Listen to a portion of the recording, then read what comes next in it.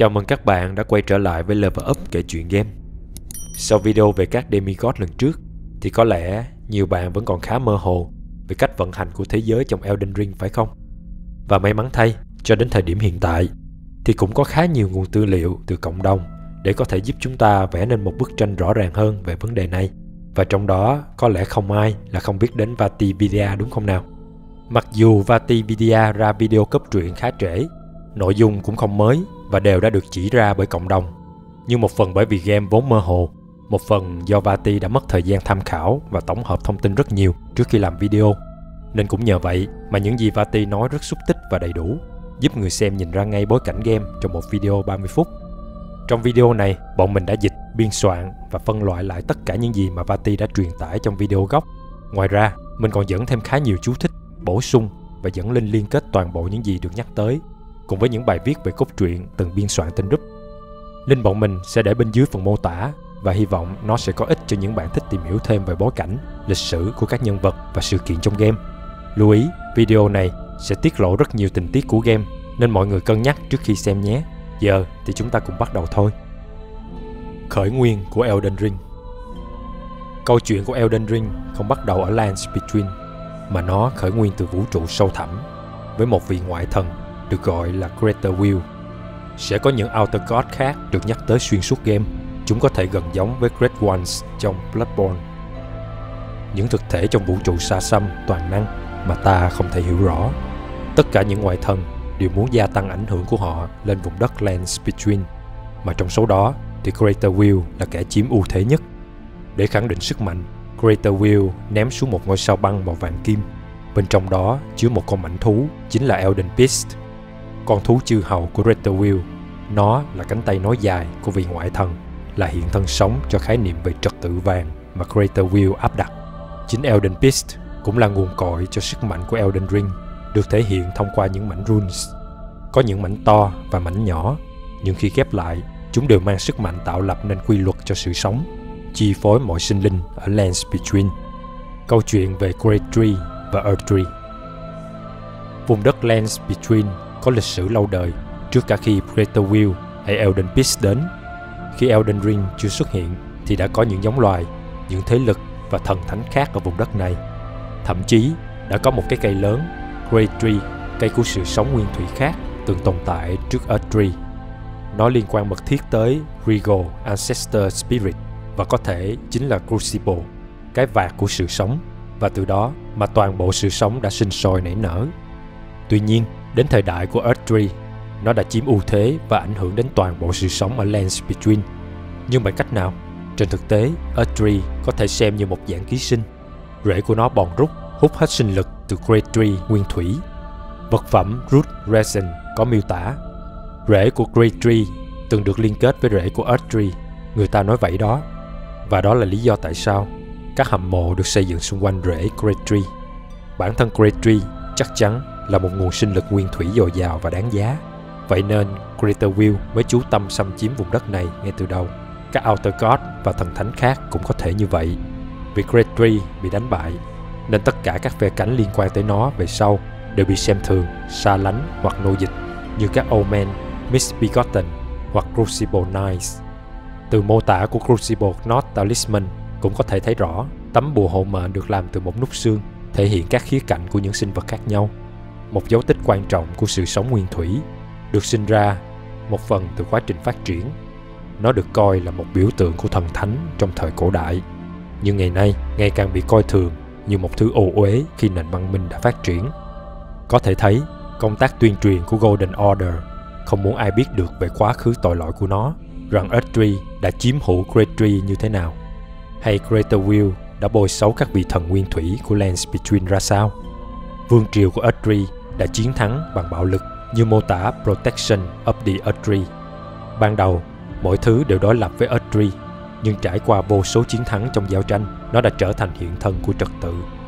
Melina từng nói với Tanis như sau.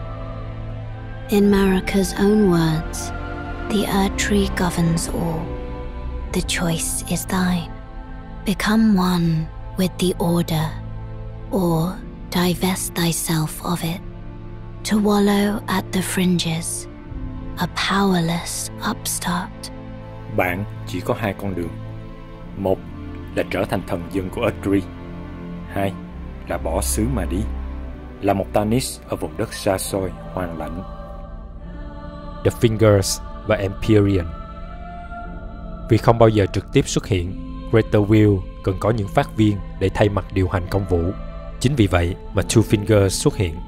Mô tả của Two Fingers Heirloom viết Fingers không thể nói, nhưng thông điệp của chúng rất hùng hồn. Chúng liên tục vặn vẹo, viết ra những điều bí ẩn trong không trung. Nhờ vậy, chúng ta đã hiểu được các từ ngữ, những lời từ đức tin của chúng ta. Những từ ngữ của Two Fingers được truyền đạt bằng ngôn ngữ ký hiệu, mà người dịch ra nó cho các tông đồ là những Finger Reader. Họ là những bà lão bất tử, có thể tìm thấy ở nhiều nơi trên khắp Lands Between. Họ từng truyền đạt mệnh lệnh từ Two Fingers cho các thần dân của Erdtree. Mặc dù vậy, hiện tại hầu như các Finger Reader đã mất đi mục đích sống của mình vì các Two Fingers đều đã bất động từ lâu. Các bạn cũng có thể tìm thấy những gì còn lại của Two Fingers ở nhiều nơi, ví dụ tại Divine Towers. Trên đỉnh các tòa tháp này, bạn có thể lấy lại được sự ban phước từ Two Fingers nhằm kích hoạt sức mạnh của Great Runes. Two Fingers hiện bất động và có thể xem như đã chết. Theo lời của Inia thì sau sự kiện The Shattering, chúng bận biểu tham vấn cho Greater Will và có thể phải mất hàng nghìn năm để tái vận hành trở lại nếu trật tự cũ được khôi phục. Inia nói, The fingers remain still, shaken by this turn of events. They are busy consulting the greater will. When they are finished, the fingers will again offer their guidance. But thousands, if not tens of thousands, of moons must first pass. No matter for me. But you, how will you ever manage the weight? Có thể thấy, Two Fingers thực sự quyền lực, nhưng cả chúng và Greater Will đều có giới hạn. Trong khi Outer God vốn không trực tiếp xuất hiện, Two Fingers lại quá thụ động, nên cuối cùng chúng cần một đại diện khác trở thành bộ mặt cho Golden Order. Chính lúc đó, nữ hoàng Marika, một Newman được chọn để trở thành Empyrean và trở thành vị thần của Lands Between. Vậy Empyrean là gì? Có thể hiểu, đó là một cá thể được các Fingers lựa chọn làm ứng viên để đạt thần cấp. Vị trí lãnh đạo mang tính chính danh tại Lands Between. Đó là thứ mà Marika đã đạt được. Chúng ta không biết nhiều về quá khứ của bà ta, chỉ biết rằng Marika là một Newman, chủng người ưu việt được mô tả như sau. Newman đến từ bên ngoài Lands Between, được cho là hậu duệ của giống loài đến từ thế giới khác. Họ sống lâu nhưng hiếm khi được sinh ra. Nữ hoàng vĩnh hằng Marika Có thể nói Marika khá giống Queen trong Dark Souls. Nhưng thay vì là một thực thể vô tình tìm kiếm được sức mạnh, bản thân Marika đã đạt được thần cấp bằng chính năng lực của mình. Greater Will chọn bà vì năng lực không thể chối cãi. Một Empyrean như Marika được Fingers chỉ định là một Shadow, con sói luôn trung thành phục vụ mọi nhu cầu của chủ nhân. Shadow không thể cãi lệnh Empyrean và bản thân sẽ bị ràng buộc. Maliket là Shadow của Marika.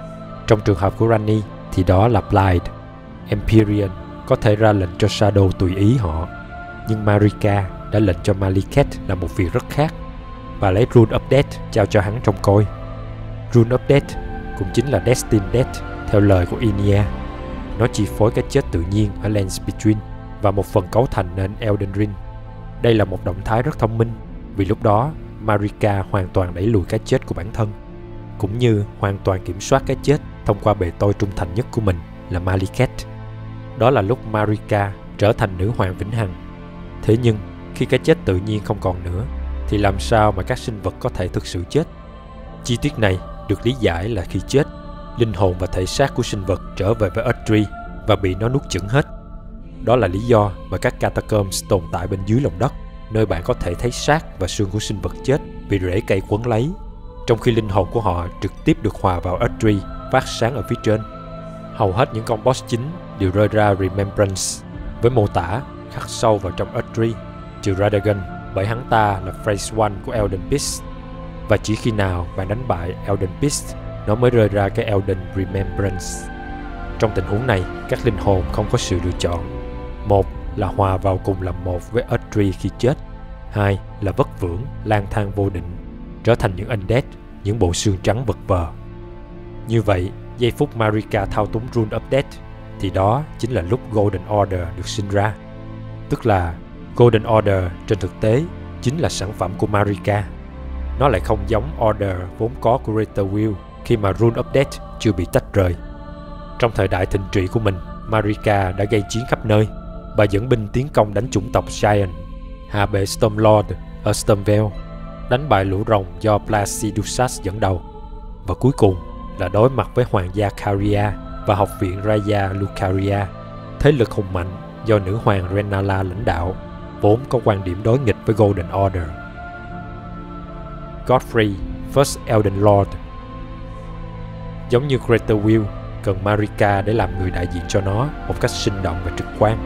Bản thân Marika cũng cần một người đáng tin cậy để thống lĩnh binh tướng cho mình. Và đó là lý do mà vị trí Elden Lord hay còn được gọi với cái tên khác là Chosen Consort của Marika ra đời. Kẻ lọt vào mắt xanh của nữ hoàng là Hora Lost, thủ lĩnh của một bộ tộc thiện chiến được mệnh danh là chúa tể trận mạc. Nữ hoàng Marika kết hôn với Hora Lux và buộc ông phải đổi tên thành Godfrey. Đồng thời, ông phải giữ tư cách đạo đức của một chúa tể đáng kính. Đó là lý do mà Godfrey tạo ra con sư tử Seros, thực thể được dùng để kìm hãm tính hiếu chiến của ông ta, biến một chiến binh hoang dại, khát máu thành Elden Lord cho vừa ý Marika. Hai người họ có với nhau ba đứa con là Godwin cùng anh em sinh đôi Morgoth và Morg. Họ đều là Omen và bị Marika vứt bỏ. Morgoth dù không được thương yêu nhưng vẫn trung thành và canh giữ Erdtree tới giờ phút cuối. Morg thì sau đó đã trở thành Lord of Blood nhờ sự ban phước của một vị ngoại thần khác là Formless Mother. Về trường hợp của Godric, hắn ta không phải là demigod, hay đúng hơn, hắn là một demigod trên danh nghĩa. Còn về bản chất thì chỉ là một người con cháu nào đó của Godwin. Nhưng tụ chung, hãy là con cháu của Godfrey thì đều được xem là Golden Lineage cả. Trong chiến trận, Godfrey dẫn đầu 16 Crucible Knight đi chinh phạt, đánh bại người khổng lồ, Stormlord và loài rồng. Thậm chí vị thần nguyên thủy của người khổng lồ đã bị chính Marika đánh bại. Từ đó tạo nên thời cực thịnh của Golden Order, thời đại của Erdtree. Melina tường thuật lại lời nói của Marika cho Tanist nghe như sau. In Marika's own words, Hark, brave warriors. Hark, my Lord Godfrey.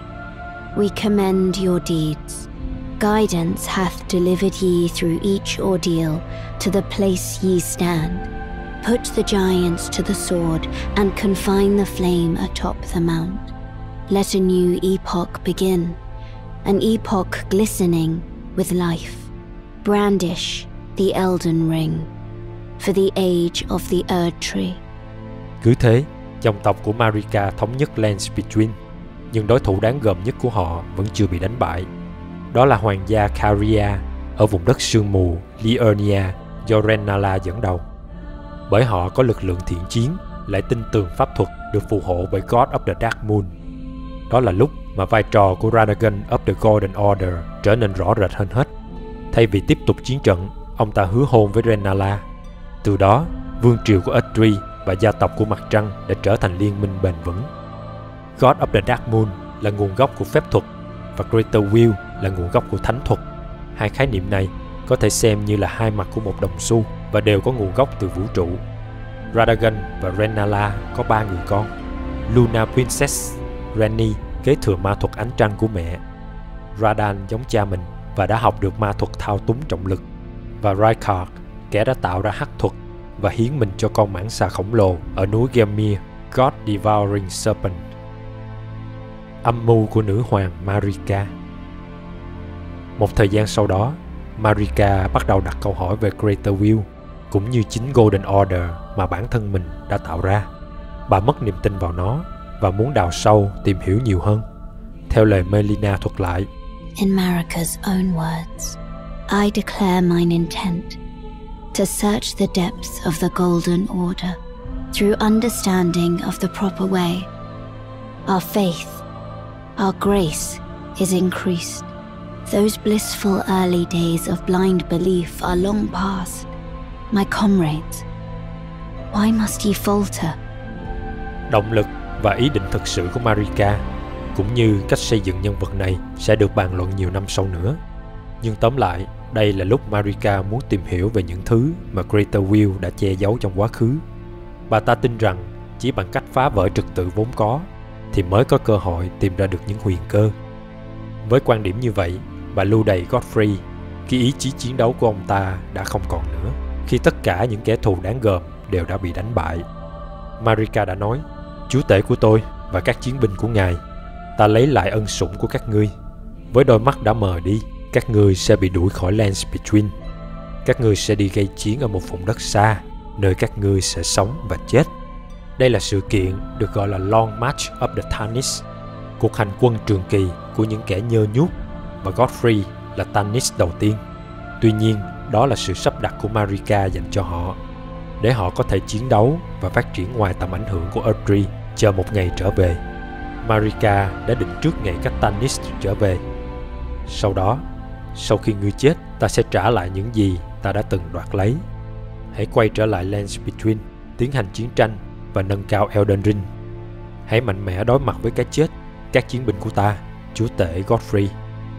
Marika cho thấy bà rất tôn trọng Godfrey và đặt niềm tin vào các Tanist, những chiến binh dưới trướng ông, bao gồm cả nhân vật của chúng ta. Sau đó, Radagon bỏ rơi Renala và quay về Lindell trở thành chồng thứ hai của Marika. Cụ rùa Miriel Pastor of Vows đã rất nghi vấn về sự kiện này. Ông nói, The mystery endures to this day as to why Lord Radagon would cast Lady Renala aside, and moreover, why a mere champion would be chosen for the seat of Elden Lord. You know, it's said that Lord Radagon harbored a secret. A famed sculptor of the Erdtree capital was once summoned to render Lord Radagon's likeness in giant stature when he glimpsed the skeleton in Radagon's closet. And as such, it's said the great statue harbors his secret too. Nữ hoàng Renala đáng thương Khi Radagon bỏ đi, thậm chí dẫn theo cả ba đứa con về thủ đô Lindell để nhận được ân sủng thành demigod còn Renala ở lại một mình với trái tim tan vỡ. Bà ta suy sụp và không còn là nhà lãnh đạo được kính trọng như ngày nào. Đó là lúc quân thần của Caria nổi dậy đảo chính, dẫn tới nội chiến giữa một bên là học viện Raya Ducaria và một bên là hoàng gia Caria. Vào chính thời điểm thịnh trị của Golden Order, Rani đã ăn cắp một mảnh rune update từ Maliket. Chỉ một mảnh nhỏ nhưng gây ra tác động rất lớn Sự kiện The Shattering Maliket bấn loạn vì một mảnh rune update bị đánh cắp. Hắn tiến xa hơn một bước để bảo vệ nó bằng cách nhập nó vào chính cơ thể của mình thay vì gắn trên thanh kiếm như lúc trước. Tuy nhiên, mọi biện pháp đã quá trễ. Rani đã cho các sát thủ sử dụng mảnh rune ngay lập tức giết chết Godwin, đứa con sáng giá nhất của Marika. Anh ta là bộ mặt của Golden Order và chi phối giáo phái thờ rồng hùng mạnh. Cái chết của Godwin có nghĩa là sức mạnh của Golden Order giảm đi đáng kể. Đây là lần đầu tiên một demigod có thể bị giết chết như vậy và nó sớm trở thành công thức để kẻ khác nhìn theo. Không lâu sau đó, Elden Ring bị đập vỡ bởi chính Marika, dẫn đến cuộc nội chiến The Shattering. Khả năng cao là Marika đứng sau tất cả mọi sự việc. Rani cũng chỉ là một phần trong kế hoạch của bà nhằm phá vỡ Golden Order. Theo mình nghĩ, Marika và Radagon có quan điểm đối lập theo mô típ Red King và White Queen. Radagon trung thành với Greater Will và cố gắng khôi phục lại Elden Ring nhưng thất bại.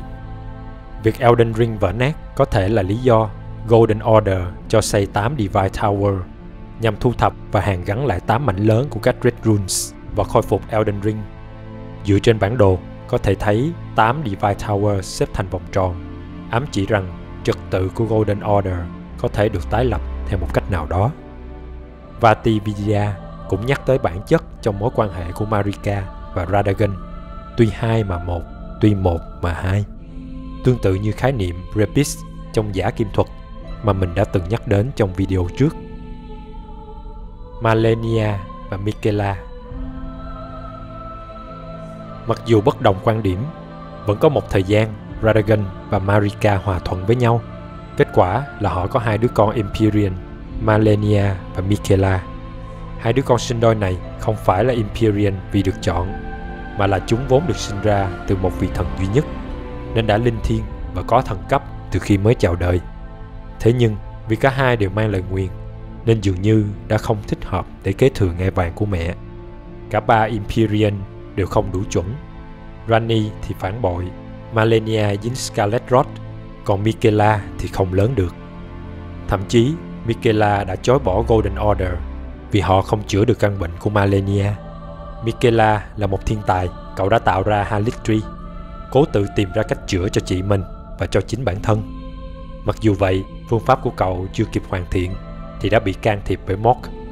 Như vậy, The Shattering diễn ra và rơi vào thế cục bế tắc khi không ai đủ mạnh để chiếm hết các Red Runes nhằm nắm lấy thiên hạ. Đến đây, kế hoạch của Marika vẫn tiếp diễn bởi Tanis đã được kêu gọi trở lại từ vùng đất hoang lạnh. Một kẻ cô độc hay được gọi với cái tên Maidenless với sự dẫn dắt của Melina. Và trò chơi Elden Ring bắt đầu. Cái kết thế nào là do chính bạn lựa chọn. Cảm ơn các bạn đã xem hết video hôm nay của bọn mình. Nếu các bạn thấy video này hay thì hãy like, share cũng như nhấn đăng ký kênh và bật chuông thông báo để không bỏ lỡ những nội dung sắp tới của Level Up nhé.